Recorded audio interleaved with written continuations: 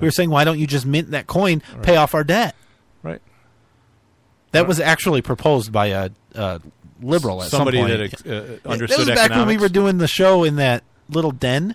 Oh yeah, I Remember remember that? that? Yeah, That's been a while. we've come a long way. Yeah, We've really come a long ways. Basement now. No vetting. I want to talk about vetting. They talk about vetting. We're going to vet these people. So, so, uh,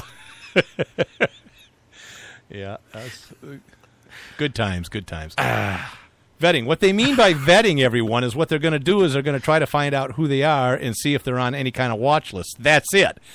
The problem What else is can they do? well, the problem is they these people don't have IDs. Right. A lot of them, the records are destroyed. There's a ton of or they never had records and things, right? There's forged stuff, so they have no idea who's coming across that border. The no idea. Here's the deal: all you can do, and and the government has admitted the uh, was it the director of the FBI or whoever it was has admitted we don't have intel on these people because there's nothing to have. Right. If you can collect data all you want, but if they don't somehow make it on the radar, you're not going to have any any in, intel on them. You you haven't collected anything. The definition of a sleeper cell, right, is that they don't do things to get on the radar And a- until it's time. And the sleeper cell ones are the most likely to have perfect, impeccable records and That's, ex- IDs. that's and exactly that. my point. Yeah. is that they that that's that's how Oh, it works. here it is. Is they do they they don't commit crimes, right? So they're going to look fine, and then one day they do commit a But, horrific. but it's crime. even beyond that. Let's say this. Let's say twenty percent of them are mass murderers and have been convicted of murder and rape and robbery. We don't have access to those records because some of them are destroyed. I don't know if Syria's doing anything. We don't even yeah, know these people are from right, Syria. right? So we've got an unknown person Yep. uh, th- that we we have absolutely no idea. Yeah. Are we not going to let them in because that's you know ninety nine percent of the people coming across? So how do you vet them, and how do you vet you You know can't. a fifteen or eighteen year old kid? How many of them are a- there? who could Be- be because that's the other a fanatic? That's the other garbage that I'm hearing. Right? Is there? You're talking about infants and widows, right? I think was it Obama? Uh, I- think it was Obama. One of them specifically talking about the three year old. You're not going to let in the three year old orphan. How the hell did a three year old orphan get into our country? Did somebody bring the three year old orphan? Right. Is it not but he a has three year old orphan? I guess Come he hasn't, he hasn't seen the videos of the, the three year olds being trained to cut off the heads of, Yeah. of stuffed Yeah. sheep. Yeah.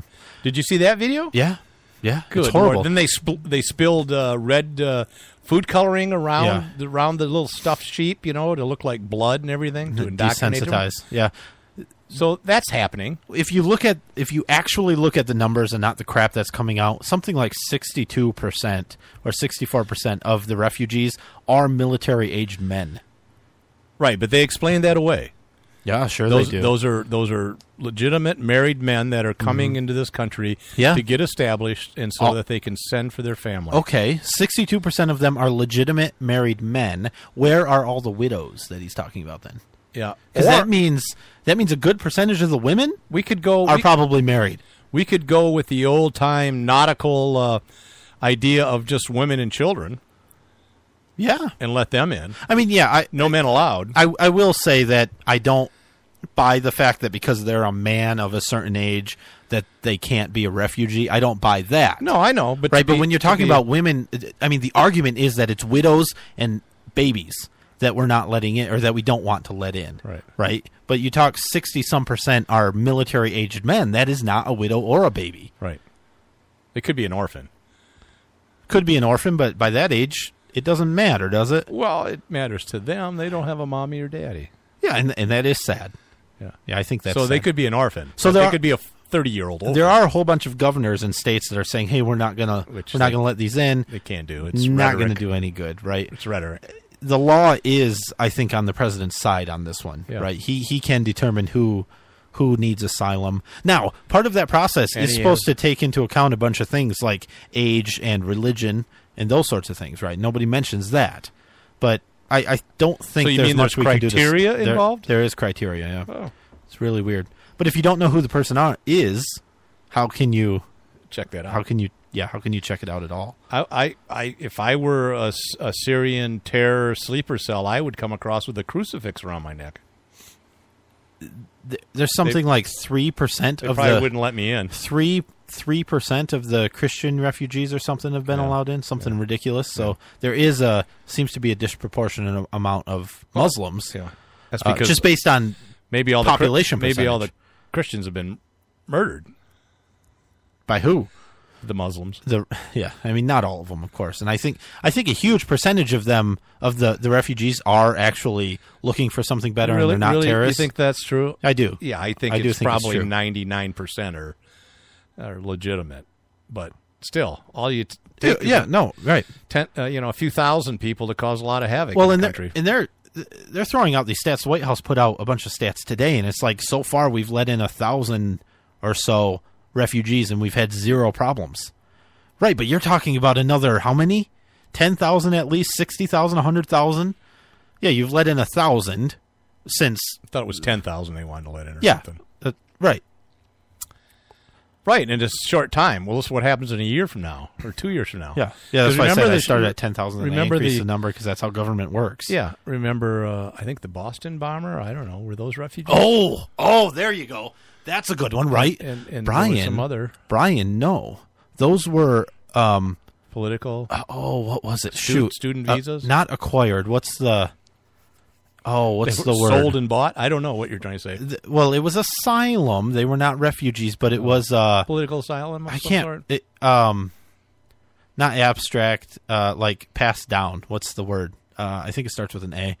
Darn it. Basically, I th- I think what happened with them is they inherited it from their parents or something, but Like they a legacy.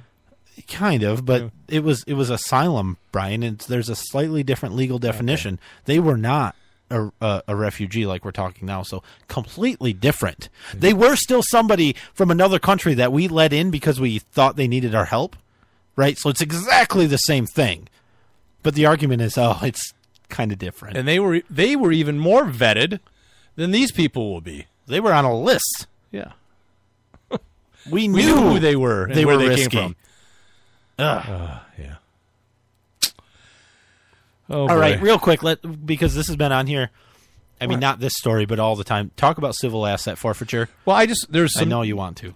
there's just some new data there. It says between 1989 and 2010, U.S. attorneys seized an estimated 12 billion dollars in asset forfeitures, and those are where they take your money for drug-related crimes or not, where they can actually just take your money if they just think you might be a drug dealer and acquired that money. So that two thousand dollars you keep in your car to go antiquing, they find that all they have to do is say, "We think this is drug money."